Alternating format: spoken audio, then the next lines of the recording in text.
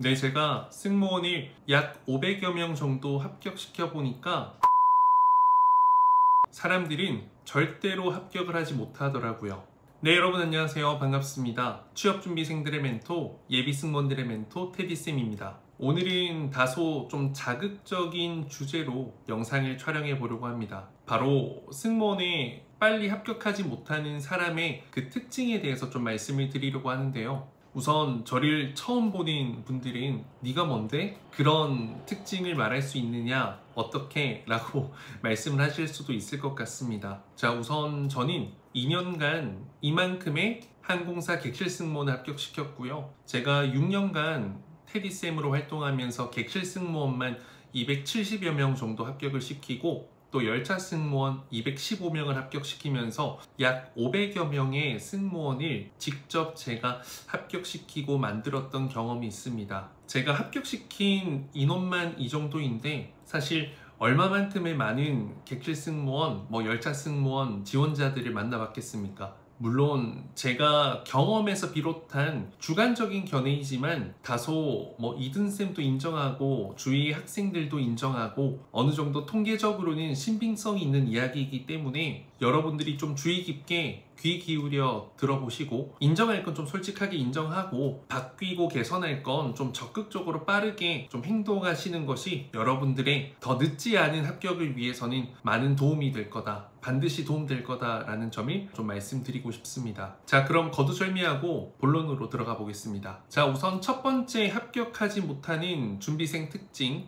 마음만 앞서고 급한 사람입니다. 사실 마음이 급한 사람은 승무원이라는 목표뿐 아니라 인생에서 좀 목표하는 그 어떤 것도 이뤄내기 힘든 사람의 유형입니다. 저는 최악이라고 생각을 하거든요, 사실. 어떠한 도전에도 성공이 아니라 실패 또는 중도 포기로 이어질 확률이 큰 사람들이죠. 일단 마음이 급하다라는 것은 결핍에서 비롯되는 겁니다. 사실 내가 완벽하게 준비되어 있고 합격할 자신이 있으면 사실 조급할 수가 없고 조급하지 않습니다. 하지만 스스로에게 확신이 없고 불안하기 때문에 그리고 그 부족한 점을 내가 노력이나 어떤 에너지를 쏟아부어서 채우려고 하니 그게 도저히 감당이 되지 않아서 일단 어떻게든 좀 빨리 되고 싶다라는 마음이 앞서게 되는 거죠. 저는 옛말에 틀린 게 하나도 없다고 생각하거든요. 이 급할수록 돌아가라 라는 말이 있지 않습니까? 조금 더 안전한 길로 돌아서 가면 되는데 맞은편에 조금 더 빨리 가려고 애쓰다가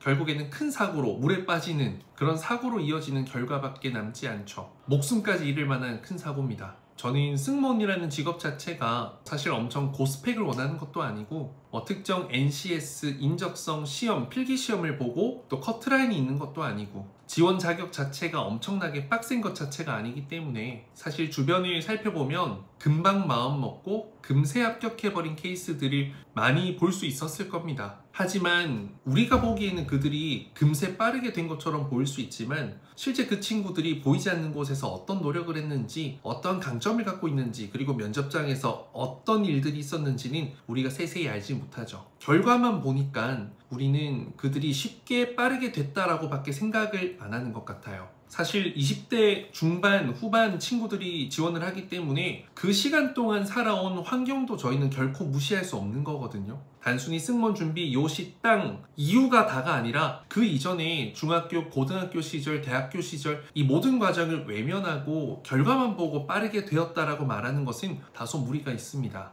앞서 말씀드린 것처럼 정말 보이지 않는 노력이 있었을 수도 있고요. 뭐 저는 사실 미신 믿지 않지만 타고난 팔자와 운이 맞아 떨어져서 정말 잘 풀린 케이스일 수도 있고요. 근데 이제 중요한 건 그들이 그렇게 잘 된 거지 내가 빨리 그렇게 잘 될 수 있다는 보장은 없다라는 겁니다. 자 그러면 테디쌤이 생각하는 조급하지 않은 적당한 승무원 준비 기간은 어느 정도 될까? 저는 1년 정도라고 생각을 하거든요. 자, 스펙이나 자격증 준비 6개월, 면접 준비 6개월. 일단 스펙 관련된 기준인 관련된 영상들이 되게 많으니까요. 보시면 이런 영상들이 있습니다. 아래 링크 달아둘 테니까 함께 보시고 여러분들 스펙 기준 준비 좀 착실하게 해주셨으면 좋겠고요. 요즘에는 이력서를 채워나가는 것도 그렇고요. 실제 현장에서 이 면접관들이 원하는 이 질문의 어떤 깊이 난이도, 진솔함, 이런 직무 역량, 인성들이 보통이 아니기 때문에 빨리빨리 가려고만 한다고 해서 빨리빨리 합격할 수 있는 시대는 사실 좀 지난 것 같은 느낌이 많이 듭니다. 그래서 제가 무조건 빨리 가려고만 하면 절대 성공할 수 없다라는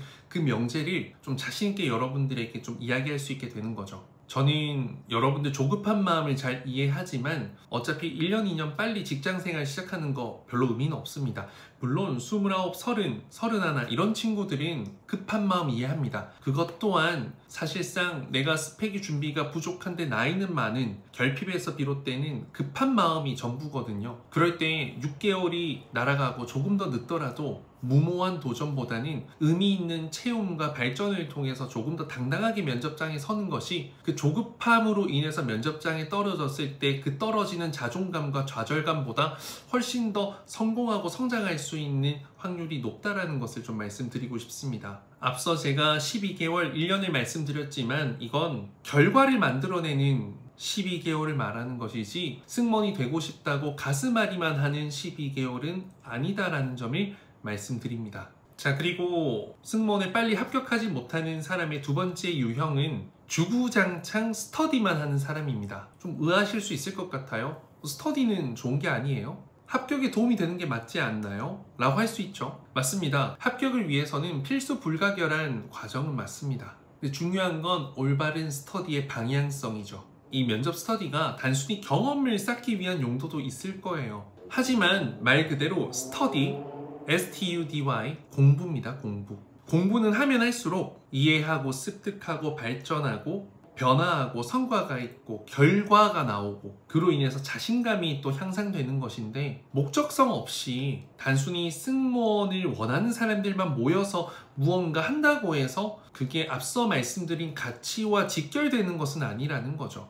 그래서 저는 이 스터디를 위한 전제 조건이 필요하다고 생각합니다. 자, 첫 번째는 직무에 있어서 기본적인 원리, 이론, 지식 등 좀 학습되고 이해가 완료된 사람들, 그런 사람들의 스터디 모임. 두 번째는 좋은 예시와 그렇지 않은 예시를 명확하게 구분할 수 있고요. 이건 뭐 답변의 내용에 대한 것도 적용되고 좀 답변을 전달하는 표현력에 대한 것도 좀 적용이 될 것 같아요. 그렇게 옳고 그름을 구분할 수 있는 눈과 귀를 갖춘 인원들이 모인 스터디 모임. 자, 그리고 세 번째는 동일한 목적의식, 동기부여 이런 목표를 향해서 좀 결속력 있게 나아갈 수 있는 열정, 의지, 근성이 똘똘 뭉친 사람들 스터디의 모임. 그리고 마지막 네 번째는 팩트로 두들겨 팰 수 있는 용기와 두들겨 맞아도 좌절하지 않고 자존감이 떨어지지 않을 수 있는 용기를 가진 사람들의 모임 저는 기본적으로 학원 과외를 무조건 들어야 합격한다는 주의의 사람은 아니거든요.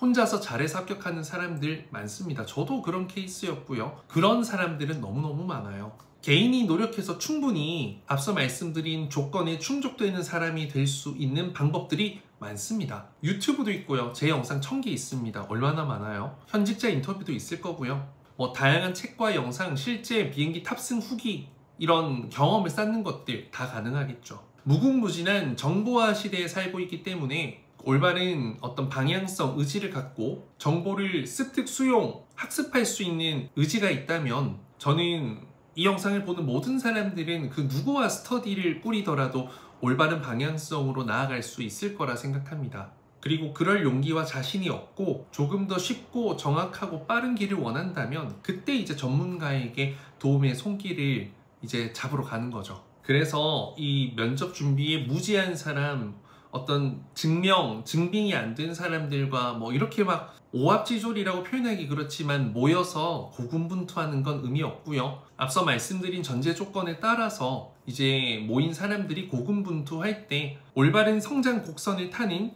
그 스터디의 방향성이 될 수 있고 그만큼 내가 합격할 수 있는 확률도 올라간다라는 것을 잊지 않으셨으면 좋겠습니다. 자, 그리고 세 번째는 외모에만 집착하는 사람입니다.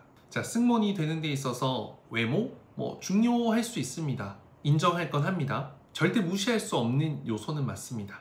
근데 여기서요 절대적인 외모만 좋은 것이 중요한 게 아니라 그런 외모를 갖추고 있는데 스펙도 절대적으로 잘 갖추어져 있고 면접 실력도 절대적으로 잘 갖추어 있다면 확실히 빨리 합격하고 그 합격 과정이 수월할 수 있는 건 사실이에요. 하지만 절대적인 외모만 갖고 그냥 면접장에 간다고 합격하는 것은 전혀 전혀 전혀 다른 문제입니다 물론 키가 너무 과하게 작아서는 안 되고요. 피부가 너무 과하게 트러블이 많아서도 안 되고 피부가 너무 과하게 악색감해도 안 되는 거고요. 뭐 체중이 너무 과하게 많이 나가는 것도 안 되는 거 맞고 뭐 눈이 너무 이렇게 막 너무 작아서 앞이 안 보일 정도 그것도 안 되는 건 맞습니다. 하지만 그런 극단적인 케이스를 제외하고 이 영상을 보고 승무원 준비에 확신을 갖고 있는 분들이라면 절대적인 외모 기준에 있어서 이 합격에 필요한 어떤 일정 수준 이상의 기준에는 여러분들 충분히 통과하고도 남는다라는 것을 말씀드리고 싶어요. 어차피 승무원이 돼야겠다 확신을 가진 사람들을 보면 뭐 사람들 앞에 나설 수 있는 용기와 자신감을 가진 사람들이 대부분일 거고 또 주변 사람들한테 승무원하면 잘 어울리겠다 칭찬을 받아본 사람들이 대부분일 거고 또 스스로 어느 정도 승무원하면 잘할 수 있다는 자신감을 가진 사람들이 대부분이지 않습니까? 그렇기 때문에 그 정도의 외모면 충분하다 말씀드리고 싶어요. 더 예뻐질 필요도 없고 더 잘생겨질 필요가 있는 것도 아닙니다. 다만 평균적인 호감형의 인상만 갖고 있다면 저는 승무원이 되는 데 있어서 외모 기준은 합격이라고 생각합니다. 그래서 저는 여러분들에게 외모가 아니라 이미지에 집중을 해라고 말씀을 드리고 싶어요. 외모와 이미지는 엄연히 차이가 있습니다. 외모는 여러분들의 뭐 키, 이목구비, 얼굴형, 피부 색과 같은 어쩌면 좀 겉으로 보여지는 절대적인 외형적인 요소에 집중이 되어 있다면 이미지는 여러분들의 표정, 말투, 목소리, 미소, 감정 표현, 그리고 그런 복장과 태도 등등등 굉장히 복합적인 유무형의 요소들로서 충분히 여러분들이 노력하고 학습하고 신경 쓰면 금세 개선될 수 있는 부분입니다. 외모는 호감적인 이미지에서는 어느 정도 영향을 주는 것이 사실이에요. 하지만 앞서 말씀드린 후자의 이미지 부분에 다양한 요소가 있었죠. 그 부분을 여러분들의 강점으로 만들어 버린다면 조금 여러분들의 이미지가 더 뛰어난 사람보다 부족하다 하더라도 충분히 상쇄시키고도 남을 만큼의 여러분들의 호감적인 그 이미지, 승무원에 어울리는 그 모습이 면접관에게 전해질 겁니다. 뽑고 싶은, 함께 일하고 싶은. 면접을 하다 보면 그런 사람들이 있어요. 앉아 있을 때 몰랐는데 딱 서서 면접 보면 그 느낌이 확 달라지는 사람들. 그 사람들이 바로 이미지가 좋은 거죠. 면접을 볼 때 일단 기본적으로 자신감이 있고 본인이 어떻게 보여질지를 잘 이해하고 있는 사람입니다. 표정과 제스처와 어떤 말투 표현력에 어느 정도 연출이 자연스럽고 진실되게 들어가 있다라는 거죠. 그런 분들을 보고 우리가 이미지가 좋다, 호감형이다라고 말하는 겁니다. 근데 저는요, 여기에서 여러분들에게 꼭 하나 강조하고 싶은 게 있습니다. 이미지가 사실 이 객실 승무원 면접에서 중요한 건 사실인데 이제 이러한 부분에 더해져서 저는 반드시 필요한 것이 바로 여러분들만의 스토리라고 생각합니다. 여러분들이 살아온 삶의 과정, 성장 과정, 인간적인 그 진솔한 모습 등 여러분들의 삶을 대표하는 그 답변의 키워드는요, 단순히 호감 가는 여러분들의 이미지를 면접관에게 전달하는 것을 넘어서 면접관의 가슴 속에 여러분들이라는 그 사람을 각인시킬 수 있는 엄청난 요소가 됩니다. 유명한 메르비언의 법칙 있지 않습니까? 93% 호감도를 결정하는 93%는 목소리와 표정에 있고 답변의 내용은 7%밖에 적용되지 않는다, 영향을 주지 않는다라는 건데 승무원 면접에서 많은 사람들이 이미 93% 호감적인 이미지, 즉 표정과 목소리에 집중하고 있잖아요. 호감형이 되고자. 근데 저는 이때 남들이 많이 챙기지 않는 7% 답변의 내용에 집중해서 정확하게 전달해서 표현한다면 여러분들은 100%를 넘어서 120% 호감을 줄 수 있는 그런 사람이 된다는 것을 역설적이지만 깨달을 수 있다면 좋을 것 같습니다. 비율이 낮다고 해서 중요도가 낮아지는 건 아니거든요.